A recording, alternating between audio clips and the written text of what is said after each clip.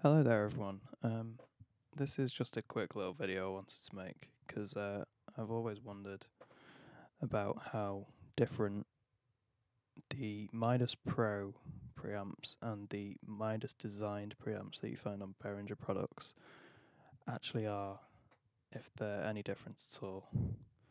Um, so the setup I've got going here, I've got a little um, splitter cable. So I've got an SM57 that's being split into uh, Midas Pro preamps on the M32R console, and second part of the split is running into a Behringer XR18 with the Midas designed preamps. Um, and I've just recorded a little audio clip, and then I've also recorded some pink noise running through at minus 18 dB, um, also through the split cable into the preamps, so that we can look at the waveforms here if they're any different. And um, I've also got two EQs in Logic. This is the only processing on these channels.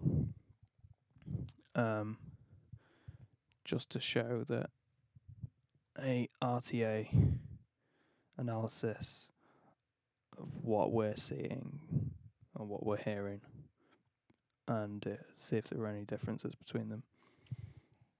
So I'm just going to mute this. I'll play through the recording on the M32 first and the XR18 first. It's worth notes, uh, noting that this was recorded at peak level of about minus 18 dB uh, gain matched on both of the preamps.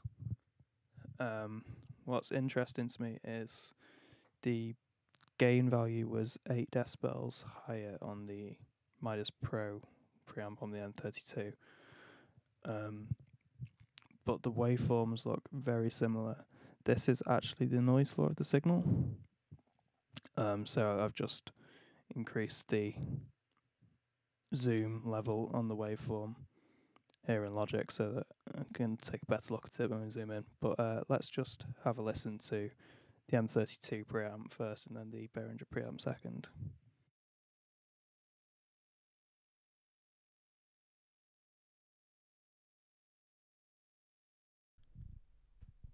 This is a test and a comparison between the two different types of Midas preamps.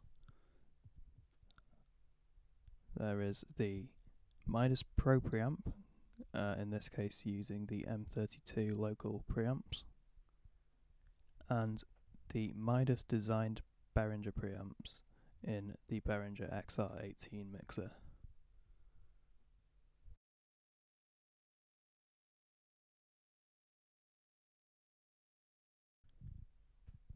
This is a test and a comparison between the two different types of Midas preamps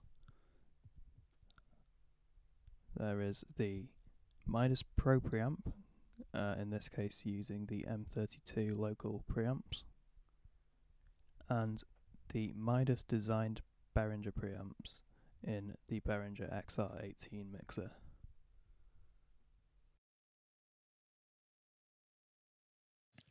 Okay, so um, tonally, I personally can't hear many differences, and that's listening through to both recordings on a pair of uh, reference monitors. So, visually, the main differences I'm seeing are around the 200 hertz marks, but even then, they are very minimal and tiny differences. Um, the waveforms themselves actually seem to be almost identical looking. Um, so unless it's just what I'm looking at, but these spikes look slightly different in these areas. Um, however, tonally I can't really hear any differences, and obviously these waveforms do look very similar. Um, so let's just play through this section of pink noise that I've recorded. Um, which is just really to get a better look at this frequency analysis and compare them. So really, on the Midas Pro, there's a teeny bit more down here signal level. Um, boost that level so we can just get a better look at it. So we're seeing a bit more of a roll off down here on the Midas designed preamps.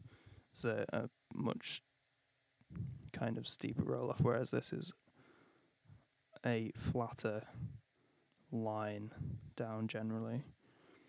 But um, I really can't see many differences. I'll play a little bit of each of these before I finish this little recording. It they are almost indistinguishable recordings. So uh, yeah, I will uh, leave you on that. I will play a little bit of the pink noise from each preamp and uh, see what you think of it. But thank you guys for watching, and uh, hope this has been useful to you.